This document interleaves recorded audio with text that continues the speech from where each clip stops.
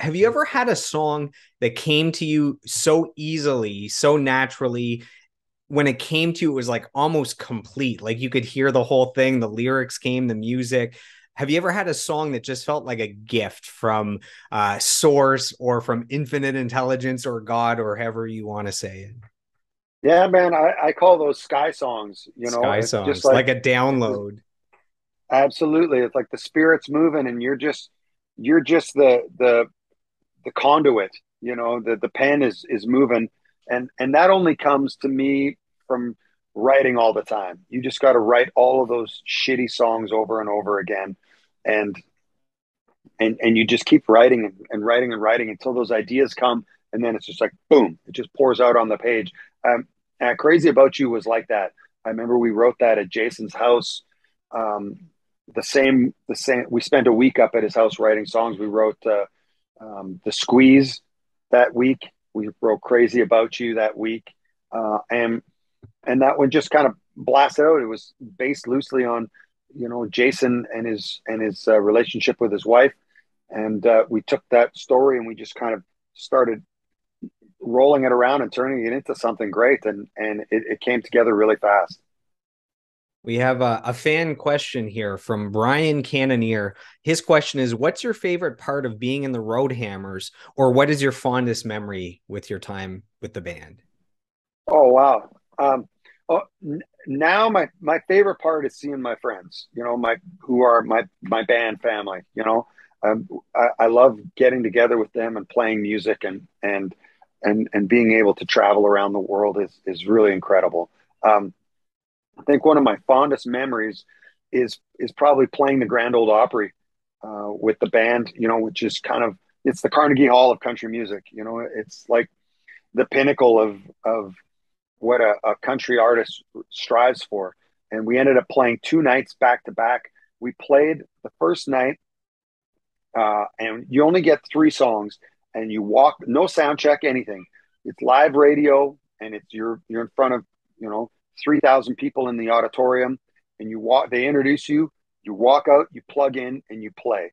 And Jerry Reed had just passed away and we played Eastbound and Down and dedicated it to him.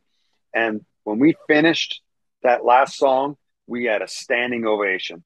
The whole place erupted and stood. I got down on the stage and kissed the Grand Ole Opry stage, and uh, and we walked off, and the and the uh, president of the Grand Ole Opry was standing there, shook our hands. He said, "You guys, we really would love it if you'd come back tomorrow night and, and do it all over again." So we were we were flabbergasted. So yeah, the next night we were we were in little Jimmy Dickens dressing room, hanging out, and and uh, did it all over again and played played our music. And I think that's definitely a, a, a highlight, career highlight for me. Yeah, not not only that you made it to being able to play there, but that you guys knocked it out out of the park. Like you were ready for that moment, which is awesome. Yeah, you know, I, I I'm a big believer in that. You know, there's no such thing as luck. It, it's just luck is preparation meeting opportunity, and and up until that point, we had we had prepped for that moment, playing hundreds of shows. You know, thousands of hours, and then that opportunity came, and we we kicked the door wide open. I have some kind words from a good friend of mine. So this is from country singer David Boyd James.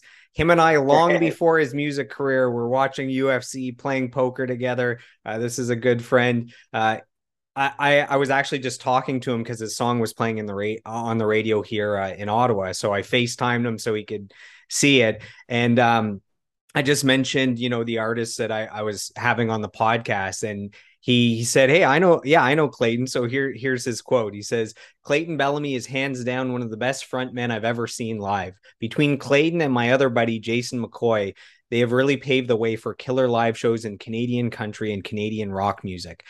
I've most definitely taken a ton of notes from their live shows and I've implemented them in my own live show. So it's what is it? Uh, it, what is it like? Not thievery is the form of flattery, something like that. You know, right, right, yeah, steal yeah. from the best. So that's David, who's you know at, at the forefront now of country, and he's uh, paying his respects to you guys. Oh, well, that's that's very kind of him. We've written some cool songs together, and he and I, and, and he's a great artist. Uh, you know, I, I've always like we were talking about earlier about seeing with your eyes, you know, when you and and I believe that, and and and I I grew up in an era of the front man, you know, like um uh now you know some of the greatest frontmen from the 80s and, and you know growing up and seeing those bands like David Lee Roth and and you know the jump like kick when, when, and the the jump exactly, splits and... you know jumping off the drum riser and and and and really more than anything engaging the audience. That's that's been something that I feel like you know it's not as much as it is about your music and your art when when it comes to the live show to me it's about bringing the people into the experience that you're having together and making it all you're all having this moment together. And if you can do that and and capture that it, it, just makes an incredible moment. People will walk away going that was the best show i've ever seen because they feel like they played a part in it. They had a role in this moment that you're sharing and and that's what's magical about music man. It, it's it, it it really and it's time stamped you can hear that song after that and it'll immediately take you back to that moment in time every time so we've we've made it all the way to the final release from the Road Hammers, uh, leaving 30 minutes or so to dive into the congregation, which I'm excited for. Uh, so in 2021, just last year, you guys released a six song EP uh, called "Back at It." Three singles: "The Boys Are Back at It," "Giver," and "Hillbilly Disco." Uh, I dove into the music videos. I, I, I love those singles, man. You guys came out hard uh, with with with that album. Um, my my question is actually we have a fan question here from Jessica Ryder. Uh, is there a Roadhammer song that you really connect to personally of the entire discography? Is there one that you put on and it just speaks to you? I mean, they're hmm. all your babies. It's hard to pick, but it's a fan question. Yeah, um, there's a there's a lot. Uh, I I think that that I mean because you know when you're writing the songs, it, they they definitely speak to you personally. Sometimes it's it's the ones that we ended up covering that we didn't write that I found like hit me more. Uh, the one that we covered off of uh, the Squeeze record, all your favorite bands. You know, we play that song uh, and our on our encore every night, and and it it really always seems to still hit me that you know that whole idea of the the hopes and dreams that everybody has for for their lives and for their loved ones you know um, that sentiment really carries with me and uh, I, I, love singing that every night and just uh, you know I hope that all your favorite bands stay together i mean that's a great a great but for me too i hope my favorite band which is this one stays together after after kind of the the darkness of 2020 the start of the pandemic not knowing if there's ever going to be live shows again. This is before the vaccines and everything. Uh, did it was it like cathartic releasing an album in 2021, releasing something positive, getting something out there? Uh, th- is there kind of a special feeling for that EP for some reason? Uh, I I think so. I I think uh, you know, not only was it good to get out music, but we did a lot of cleansing too with you know and uh, you know, moving on from our old label and our old management and getting away from some things that were maybe, you know, become a toxic environment for us.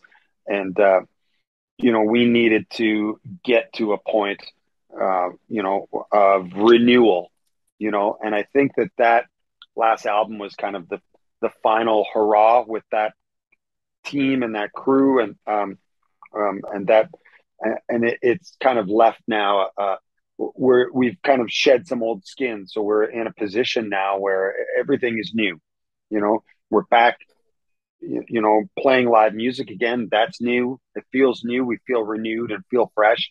And we're also back to you know making we're making music for the first time that has no boundaries.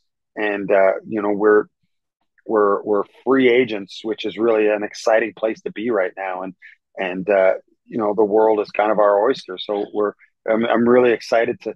It feels like it feels very much like where we were in 2004 when the when the band first got together, where there's no expectations, there's no you know preconceived notions of anything. We can be or we can do anything at this point in time, and I think we're going to make some of our best work coming up.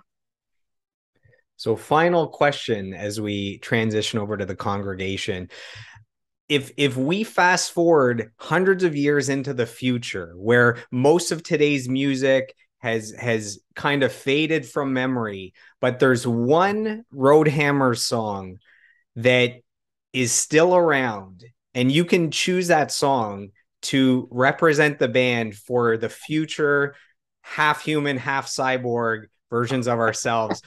What you know may, you'd probably think of oh you know the most popular Roadhammer song is one that would survive but this is if you could put in a capsule one song that you would want to best represent the band for future generations to hear so it's a little a little trickier than the normal question man i think it's the song the title track off of our 2015 album wheels something about wheels something about a highway Something about a big old stretch and nothing round, just putting that hammer down. That's the that's it, man. That that's wheels is is a perfect representation of what this band was all about and how it was conceived. You know, we wanted it to be a uh you know based on those amazing 70s trucker albums uh, and uh, and that's what we did. We made a we made a whole band just about singing about wheels. That's amazing. I think that's the right answer right there. I think you I think you nailed it. So I have uh, one comment and then we dive into the congregation. So uh, on Tuesday I was playing hockey. Uh, I, I'm in the parking lot and there's another player uh, who's an amazing singer songwriter. He asks Joel, "What are you up to?" And I mentioned the podcast. I just had Staind on. That's one of my favorite all time bands. Just had Big Wreck on, and I, I mentioned that I I have Clayton Bellamy coming up, and he goes, "Oh, I know Clayton." So this is from Chris LaBelle, who is the singer for the Rivertown Saints, and yeah. he's he's so good at hockey that the players that we play with when he comes out so he gets a call when we were short on players and there's actually a rule that he's not allowed to score because he would just score whenever he wants. So this guy will get a breakaway and he has to wait for someone to catch up to make the pass to the other guy. So anyways, that's that's me pumping him up a little bit as a hockey player. So this is what Chris has to say. Uh, and I go way back to Canadian Idol days with him. That's how I know him. So uh, Chris says best thing about Clayton is he's not only an incredible musician in all genres, but he's a better human being when you meet the guy. He always takes the time out of his day and looks you directly in the eye when you're talking to him. 100% total gentleman, Chris LaBelle. Man, that that makes me feel really great. Chris is a great human and and you know that that's the most important thing that we're, you know, as far as I'm concerned that we're here on this earth. You know, if we can leave it a little better than we than we found it, that's the whole point, man. And uh, and I, I really there's a few moments every night in our show that we really do our best to try and connect and to leave that sentiment every night. And I feel like that, you know, as as we've gone on down the trail, you know, you you get a little older and you um, you realize that yeah, that's that's kind of what we're here to do. It's not to to make records or to make money or to you know, it, it's really to to to try and leave a mark with people and and and and and leave leave leave the place a little better than we found it you know? So that that that makes me feel great to hear. And uh, I'm I'm a huge fan of his band and and I never knew he was that kind of a hockey player. I wish I played hockey like that. I can't even skate